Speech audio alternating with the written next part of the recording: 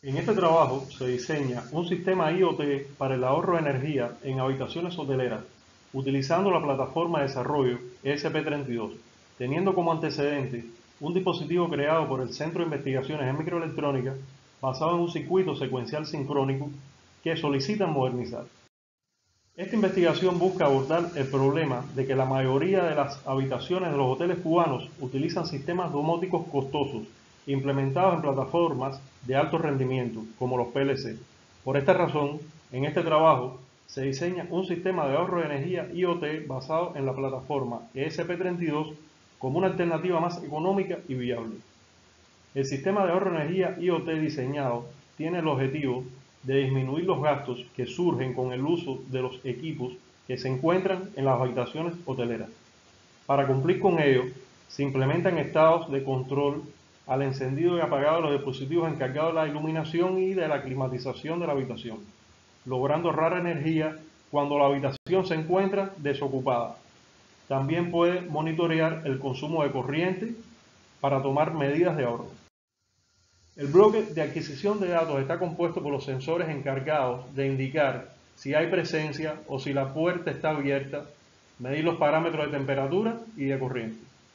Estos datos son enviados a bloques de procesamiento, donde son analizados y se obtiene una respuesta que es enviada al bloque de salida. Este bloque es el encargado de activar la iluminación y la climatización dependiendo de las indicaciones recibidas. El bloque de comunicación con el puerto de acceso Wi-Fi permite conectarse a una red con acceso a los servidores remotos IoT. Este sistema incorpora un microcontrolador que maneja el flujo de control procesa los valores obtenidos de los sensores y es el encargado de controlar la salida. El módulo detector de presencia PIR es de bajo costo. El sensor magnético alámbrico se utiliza para detectar la apertura y cierre de la puerta. Para medir la temperatura se utiliza el sensor LM35. Se utiliza un sensor para medir la corriente eléctrica. Se utilizó un microcontrolador ESP32 que es el encargado de tomar los valores enviados por los sensores y procesarlos. También se encarga de controlar los relés conectados a su salida. El bloque inicio incluye la declaración de cada una de las librerías, variables y sentencias iniciales del código. El bloque de calibración de sensor de presencia es necesario hacer una demora de 60 segundos antes de tomar las muestras. En el bloque de comunicación, es el encargado de establecer todos los protocolos de comunicación con la plataforma IoT. El bloque de atención a salidas envía por los puertos de salida el control de los dispositivos actuadores. Para dar cumplimiento al diagrama del software es necesario implementar una máquina de estado, que es la modelación del comportamiento del sistema con entradas y salidas, donde las salidas dependen no solo de las señales actuales, sino también de las anteriores. Esta se basa en un conjunto de cuatro estados que sirve de intermediarios en la relación de entradas y salidas se establecen los siguientes criterios de diseño para el software de visualización. Crear un, indicador para el monitoreo de cada uno de los valores en tiempo real, como lo son el saber si hay presencia en la habitación, si la puerta está abierta, la temperatura de la habitación, los valores de corriente y el estado de la salida. Crear controles que permitan variar los tiempos de espera de presencia y de la programación de climatización.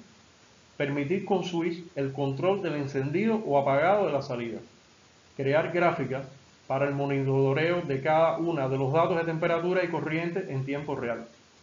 Las pruebas experimentales se efectuaron a través de la implementación del sistema de ahorro de energía IoT propuesto. La comparación se realizó en los cuatro casos, obteniendo los mismos resultados en el sistema montado y en el simulado, estado A. En este caso el huésped se encuentra en la habitación, por tanto la habitación está ocupada el sensor de presencia se encuentra activo y las salidas se encuentran activas. Se muestra el gráfico de temperatura.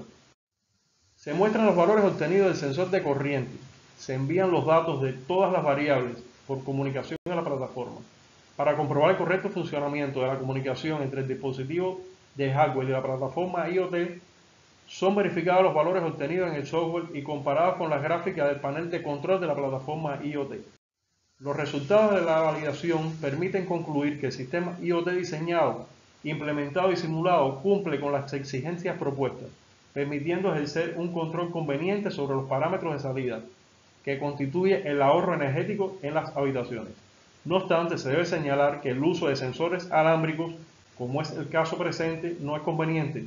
El uso de sensores inalámbricos reduciría el costo en cableado y al mismo tiempo facilitaría la instalación de los componentes.